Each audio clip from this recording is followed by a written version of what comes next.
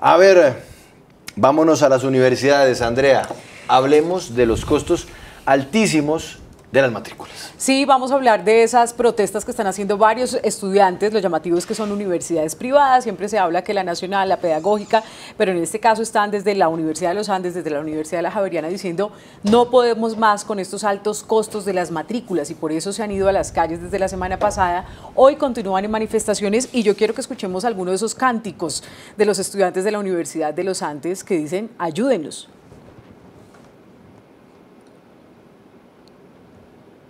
Y no, y no, y no me da la gana pagar una matrícula que sea así de cara. Y no, y no, y no me da la gana pagar una matrícula que sea así. No me da la gana pagar una matrícula que esté así de cara, es lo que están diciendo, y también desde la Universidad Javeriana, donde dicen lo siguiente.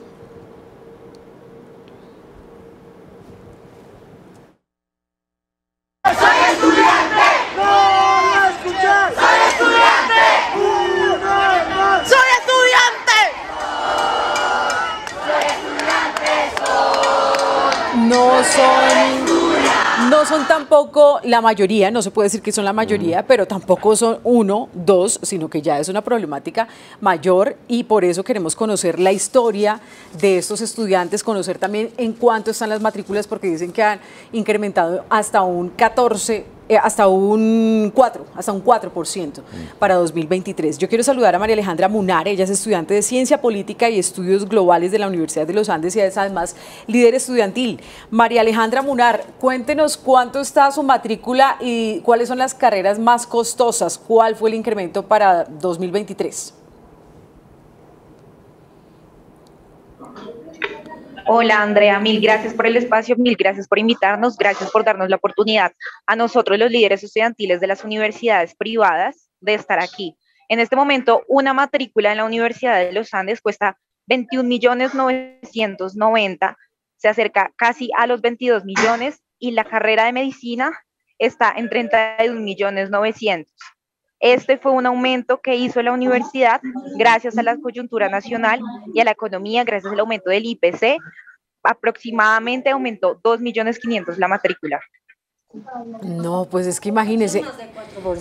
Sí, están, están diciendo que ya no aguanta más porque además, Pablo, usted sabe que un semestre, bueno, uno dice seis meses, pero realmente el tiempo se pasa muy rápido, es como si fueran cuatro meses, entonces para sacar del bolsillo ese dinero, pues no, no es posible hacerlo tan fácilmente. Por eso yo quiero saludar a un padre de familia que es justamente el papá de María Alejandra, William Munar. Gracias por acompañarnos y háblenos de la situación de su casa, la situación económica a la que usted se enfrenta y si usted está teniendo que pedir créditos para pagar esta matrícula tan costosa. Andrea, buenas tardes, buenas tardes a todos. Sí, efectivamente, eh, tengo que, si, si, si, quiere, si se quiere que la, que la hija continúe en sus estudios, pues me tengo que ver abocado a créditos, a créditos que usted ya sabe que aquí en el país estos créditos son bastante extensos y difíciles de pagar. Eh, una, eh, como padre pienso que es una, una pensión demasiado alta por más, por, por más eh, universidad privada, pero no creo que estemos al alcance de, de continuar y de soportar esto. Pero, don William, esto es algo nuevo porque de todas formas, pues uno mira el semestre que pasó y de todas formas la tarifa ya era bastante elevada, incluso si uno mira un poco más hacia atrás. pero acuérdese, Juan Pablo, que es que en pandemia congelaron. Ah, claro, entonces, ahora se ve. Es como que el acumulado. Claro, se siente ese golpe. Pero de todas formas, don William, ¿no le parece que ya per se esas tarifas de matrículas están ya exageradamente elevadas, incluso antes de este incremento que se anuncia para el primer semestre del 2023? Eh, Juan Pablo, desde luego que, las tarifas son demasiado, demasiado altas y pues nosotros, eh, los de caminar a pie, pues querer querer que nuestros hijos, que, que en el caso de nosotros, nuestra hija esté ahí en los Andes y tener que abocarnos a créditos y créditos y créditos, pues imagínese, eh, a, qué calidad de vida tenemos que estar pendientes y esclavos de esos créditos, lo cual se nos hace difícil, difícil, difícil. Quiero, quiero volver con María Alejandra, Porque mire usted, estoy leyendo los comentarios, María Alejandra, y entonces, claro, hay gente que dice, es que eh, les van a subir al parqueadero los Ferraris. Eh, dice Carlos Sepúlveda, los Andes estudia el que tiene con qué pagar. Yo quisiera que usted nos ayude a ver una realidad, eh, María Alejandra, y es hasta dónde en realidad todos los que están en la Universidad de los Andes son ricos, andan en Ferrari o como dice Carlos, estudia el que tiene con qué pagar. ¿Cuál es la realidad? Porque creo yo que hay una distorsión y no todos llegan en Ferrari, hay algunos que llegan en Transmilenio. Así es, en este momento la universidad alberga una gran población de personas becadas y personas como yo que tenemos auxilios académicos y que esa es la oportunidad que nos da de estar aquí en la universidad. Por eso precisamente ese es el llamado. Así usted como estudiante no tenga la necesidad económica, apoye porque hay algunos compañeros que sí la tienen. Muchos de los que estamos aquí tenemos auxilios económicos y precisamente por eso estamos haciendo esta protesta porque no se están teniendo en cuenta las personas que son becadas, las personas que tienen auxilios, que precisamente es por ellos es que hay que apostarle a la educación, una educación que sea em, gratuita en caso de universidades públicas, pero en las universidades privadas también hay personas que necesitan, también hay personas que están endeudadas con distintos fondos y eso no es lo que se le quiere apostar. A la Universidad de los Andes, si bien es muy prestigiosa, también merece muchos arreglos como son estos y acceder a la educación en este momento es un privilegio y no debería serlo. Sí, María Alejandra, mire, yo quiero que escuchemos al ministro de Educación, Alejandro Gaviria, quien además fue rector de la Universidad de los Andes, donde hace un llamado a las, los centros educativos para que se tengan en cuenta eh, pues, eh, esas, eh, esa afectación, esas condiciones que incluso también tiene que ver con economía internacional, que golpea a Colombia, bueno, en fin, una serie de variables que él pide tener en cuenta. Para la universidad es una recomendación que hace el ministerio de manera general, pero yo quise hacerla explícita y si se quiere asertiva. Y les dije, no me parece en este momento conveniente aumentos en las tarifas, en las matrículas de las universidades por encima del índice de precios al consumidor. O sea que yo creo que las universidades deberían entender el momento difícil, coyuntural, económico del país y no deben haber aumentos reales en las matrículas universitarias en Colombia. Eso es una recomendación. Las universidades podrían en algún caso esgrimir algún tipo de razones, pero yo creo que ese caso debería ser la excepción, no la regla. El tema es que ahí hay un mm. asunto que se llama la autonomía universitaria. Y entonces, bajo ninguna circunstancia, el ministro o el gobierno nacional pueden salir a decir, universidades bájense, universidades hagan. Por eso el ministro habla de recomendaciones. Sí, aunque, aunque recordemos que si él fue el rector de la Universidad de los Andes, seguramente estará interesado en mediar en este caso. Pero quiero preguntarle, María Alejandra, ¿qué les ha dicho la universidad? Porque ustedes están en esta protesta desde la semana pasada, pero alguien los ha escuchado, les ha dicho, bueno, sentémonos y miramos algunos de los casos y cuántos estudiantes están protestando como usted. En este momento eh, se está realizando un pliego de peticiones que conjunto con la mesa de seguimiento del Consejo Estudiantil de la universidad la participación de distintas agrupaciones y el Comité de Paz, estamos construyendo con el fin de llegar a Rectoría y a todas estas entidades del Consejo de Gobierno. ¿Qué pasa? Que si como estudiantes no nos estamos pronunciando, esto no va a ser efectivo.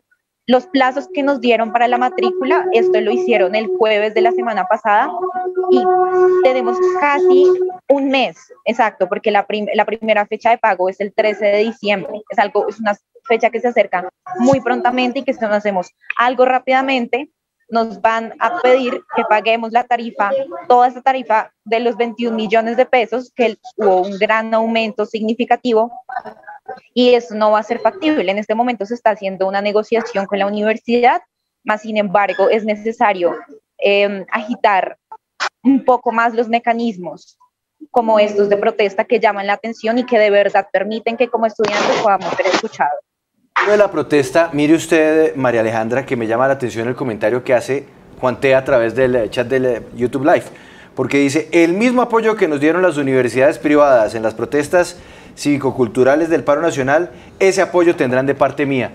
Yo quiero, María Alejandra, es que la memoria es corta. A veces la memoria de nosotros los colombianos falla muchísimo, muchísimo. Pero, María Alejandra, recuérdenos usted, como estudiante de la Universidad de los Andes, bueno, de repente el año pasado, es que usted lleva, va en tercer semestre, pero bueno, tal vez su memoria nos ayude. La Universidad de los Andes estuvo, acompañó hace un poco más de un año las manifestaciones del paro nacional, los estudiantes de los Andes. Sí, yo estoy en este momento en cuarto semestre y la universidad, muchos de sus estudiantes, como bien lo decían, se han diversificado de una gran manera y ahora ya no solo se alberga a las personas que han sido parte de la élite colombiana, sino también estudiantes, como lo decía mi padre, de a pie, el año pasado, muchos estudiantes de la universidad apoyaron las marchas, si bien no son las cifras numerosas, eh, se ha venido a lo largo del tiempo pronunciado un poco más que las universidades privadas como la Javeriana, el Externado y los Andes estén apoyando estos paros. Y ahora también estamos en la misma situación, pero por el alza de las matrículas. Estoy leyendo aquí, insisto, insisto, Andrea, a veces la memoria nuestra pero yo sé que el problema es, que hay que ejercitar un poco más la memoria. Yo recuerdo los, los estudiantes de la Universidad Javeriana y la Universidad Distrital, que quedan una frente a la otra en Bogotá, juntos en la misma manifestación en medio del paro nacional.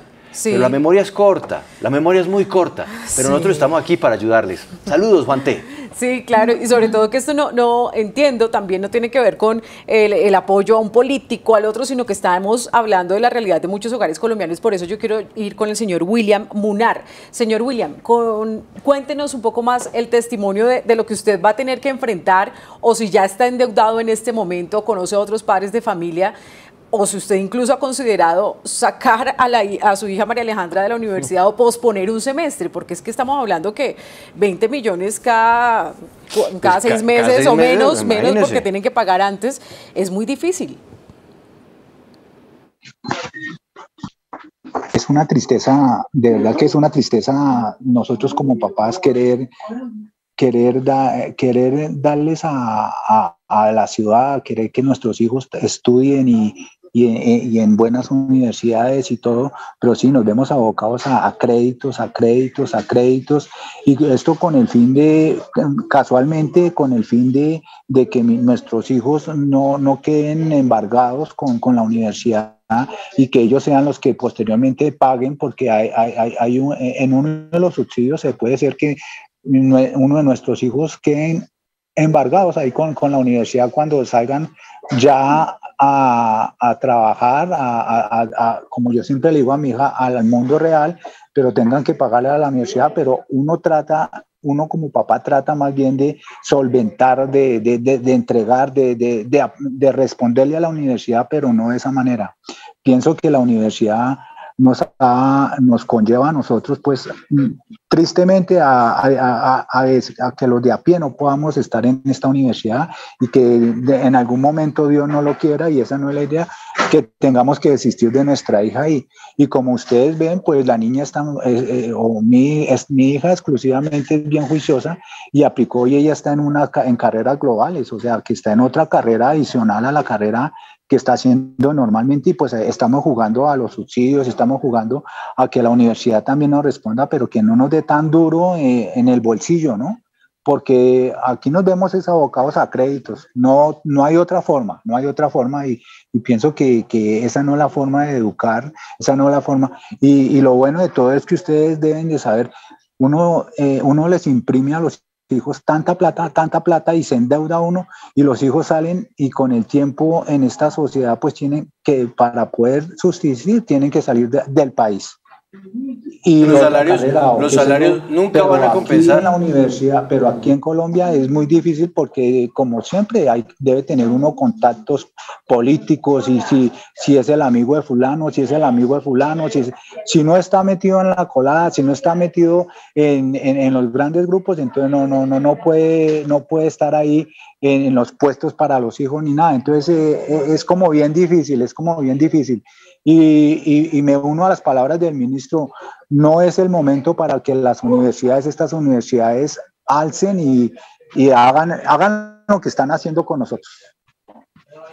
Pues, señor William y María Alejandra, quedamos muy pendientes de, lo que digan. A propósito, le tengo... ¿De la Universidad de los Andes dijeron algo, Andrea? Pues estamos todavía esperando un pronunciamiento, por lo menos en sus comunicados oficiales. Mm. Están haciendo mucho énfasis en las becas, eh, en las eh, facilidades de pago, en los préstamos, pero todavía falta un pronunciamiento más de fondo mm. respecto a esa solución para los estudiantes. Ahora, Paola nos recordaba, claro, que es que veníamos de una congelación por cuenta de la pandemia. Y entonces, claro, de repente se pega una disparada de precios. Pero es que, mire, Paola, aquí me metí a, uno de esos portales para comprar carro. es comprarse cada seis meses un carrito compacto. Sí. Un carro de los pequeñitos. es comprarse cada seis meses un carro de esos. O cada año un carro un poquito, un poquito más grande. No sé, a mí es que esto me parece absurdo. Me parece absurdo, pero Ojalá, ojalá haya una buena explicación y sobre todo pues haya alivios, ¿no? Eh, Andrea, ¿qué, más me tiene? Sí, bueno, le tengo respuesta de la Universidad Javeriana. Nos dicen que en este momento no pueden atender una entrevista porque están eh, atendiendo a cada uno de los estudiantes para estudiar su caso y dicen que la universidad pues ha tenido gastos en moneda extranjera cercanos a los 10 millones de dólares anualmente, que también el pago de nóminas se ha incrementado muchísimo, el aumento del, salario mínimo, el dólar, bueno, dicen un montón de, de situaciones y esto fue lo que dijo también la directora financiera de la Javeriana, Joana Bolívar diciendo que van a estudiar caso por caso de los estudiantes que están protestando. Somos conscientes de la difícil situación económica actual, por lo cual la universidad ha fortalecido sus programas de financiación y de becas. Para el 2023 se apoyará a 16 mil estudiantes con 60 mil millones de pesos que serán destinados a becas y descuentos, es decir, 21 mil millones de pesos más que en 2022. La tasa de interés para créditos a corto plazo directo con la Javeriana será del 0.8% mensual, porcentaje que está por debajo de la inflación actual del país y de las tasas de interés del mercado. Estamos dispuestos a atender a todos y cada uno de los estudiantes y sus familias que lo requieren.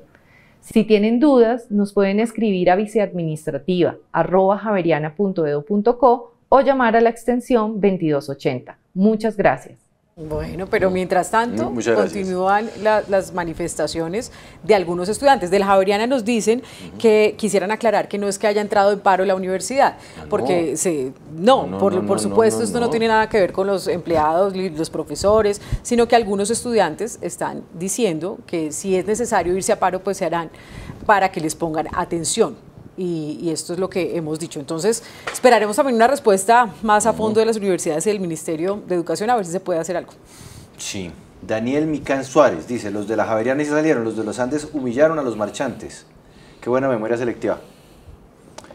El entonces rector de la Universidad de los Andes, que es el hoy ministro Alejandro Gaviria, hasta dio día libre. Y se ganó además unos regaños del, Consejo, del Consejo Superior de la Universidad. Unas peleas ahí. Porque él dijo, que el derecho a la protesta debía promoverse. No es memoria selectiva, créame.